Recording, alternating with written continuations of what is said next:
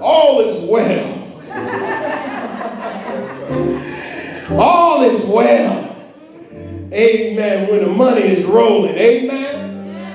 Amen. But when that ship starts to break up, come on, somebody. And they come and tell you we downsize downsizing. And we have to throw you off the bow. Come on, somebody. The ship is getting smaller. We got to throw you overboard. Anybody know what I'm talking about? Hallelujah. Amen. That's just like the devil. Amen.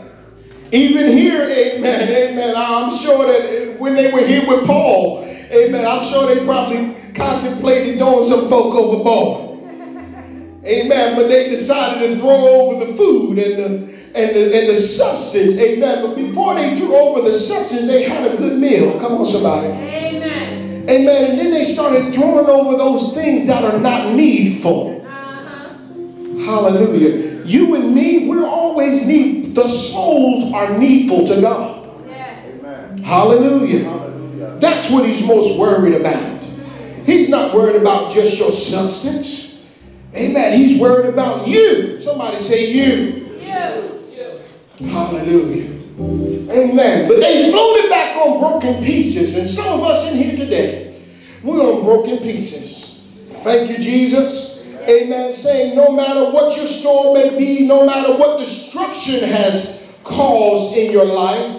Amen. Picking it up four and four says, Rejoice in the Lord always. And again, I say rejoice. Tell somebody rejoice. In the good times, we sing this song. In the good times, praise his name. And in the bad times, do the same. Now tell me that ain't easy. Come on, those who want to be truthful today, that ain't easy. Amen. When the storm starts coming, we start to look at the circumstance. Amen. And your human reaction is not to just throw your hands up and say, Thank you, Jesus. Many of us have the nerve to say, Lord, I thank you for my storm? I thank you for what I'm going through because I know that the word says that all of this is going to work together for my good. No matter what it looks like, God, I'm encouraged today because I know that all of this is going to work out for my good. It says here in the fifth verse, let your moderation be known unto all men. The Lord is at hand. Amen. You got to let people know, hey, my God is in control. Amen. I know it looks like I may have been abandoned, but my God is in Amen. control. So that when the storm comes, you will still say, God is Lord. Yes. He's the Savior of my soul. Yes. Amen. And you don't get caught up in circumstances, you can still say verse 19, but my God. Shall supply all your need according to his riches in glory by Christ Jesus. Say it again, by Christ by Christ Jesus. Don't look at people. Don't look at your job. It's temporary. Even people are temporary. Do we know that? Amen. God calls people home all the time. It's a temporary thing.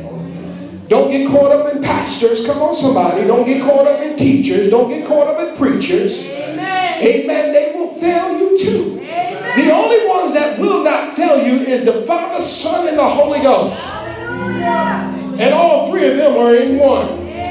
Hallelujah. He will never leave you. He will never forsake you. He will never fail you. He will never lie to you. Never. Hallelujah. Do you believe that today? So even though you may be on broken pieces today, God is here to mend you and rebuild you and give you foundation and give you structure. Somebody say structure. Structure. Hallelujah. So don't you fret, don't you worry. God is still yet on the throne. Give God a hand, praise somebody.